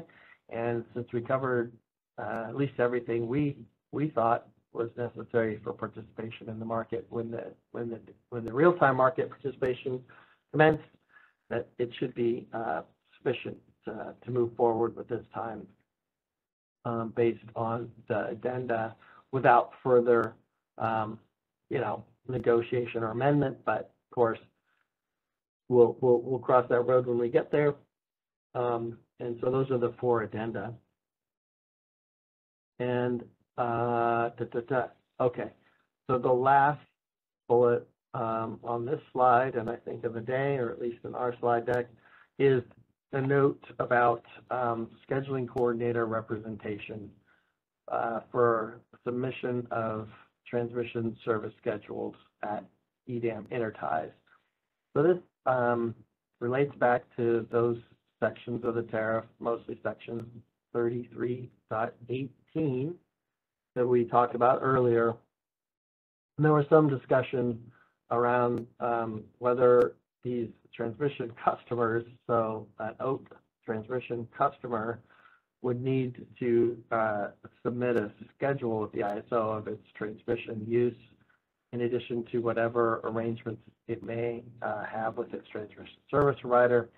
And so the idea here is that those submissions after the registration and all of that would be submitted to the ISO by a scheduling coordinator. This could be the uh, uh, EDAM entity um, scheduling coordinator um, representing transmission services, but we defer that to the transmission customers and their transmission service provider. But what we're saying here is that that they are required to be represented by a scheduling coordinator um, to submit those transmission schedules into the ISO system. I just wanted to make that point. Um, and I think, Isabella, correct me if I'm wrong, but that wraps up the substance of the presentation. We can go into next steps. And I'll Yes, take any that's- questions. That's correct. Um, so before we move into next steps, do we have any questions?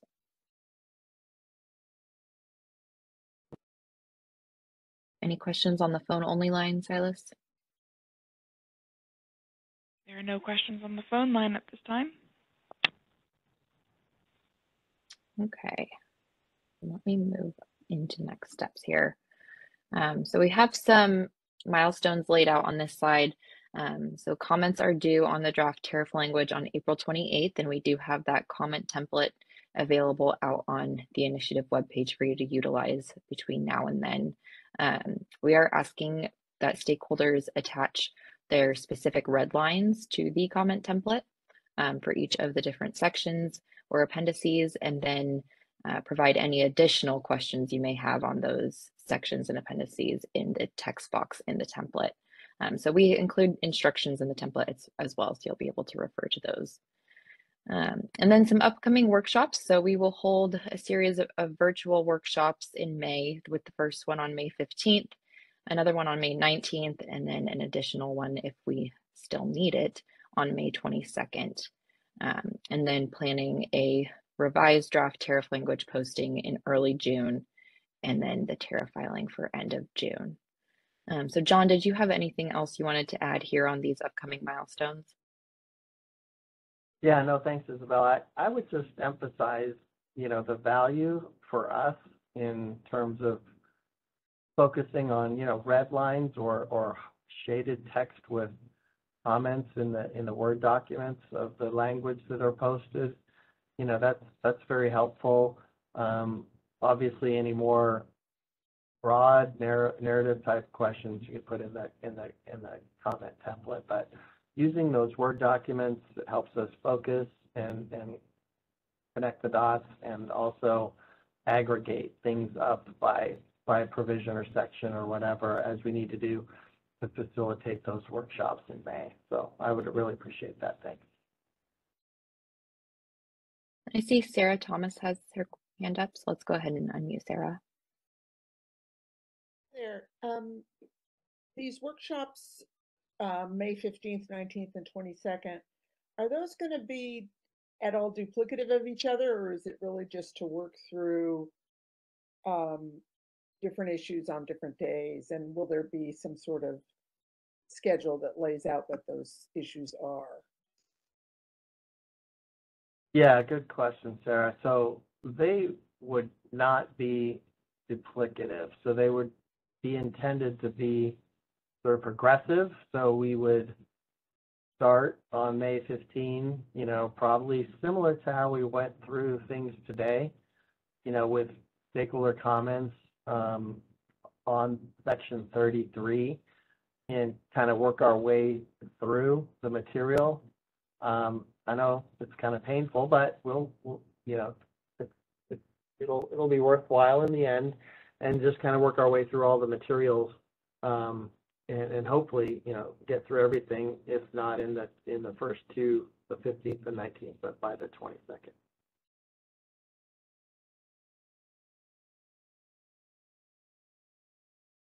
And then uh, a question in the chat, unrelated to the next steps, but um, will the BAA specific marginal, marginal energy cost also be used for WEIM or just EDAM?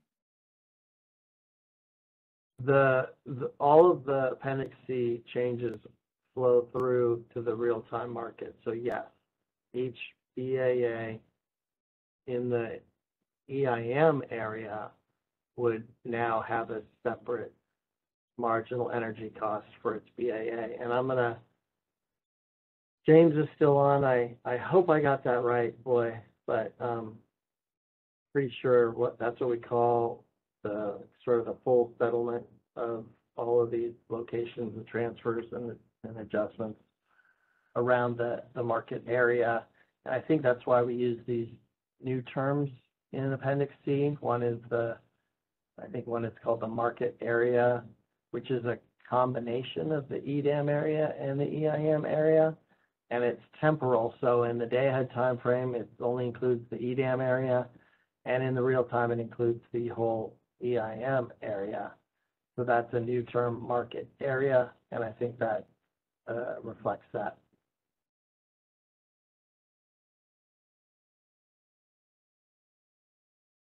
I'll assume I got it right since James hasn't unmuted, so we'll go from here.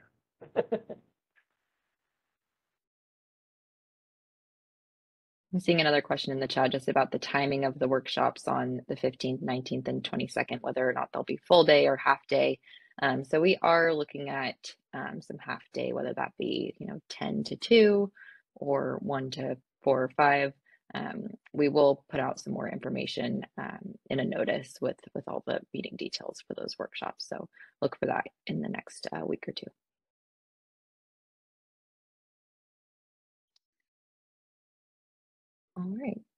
So, and then our last slide here just is a link to the EDAM initiative webpage, um, again, with the comment deadline of April 28th, um, where you will find the comment template.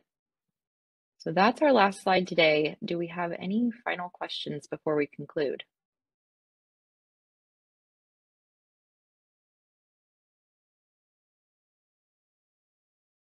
Any on the phone only line, Silas?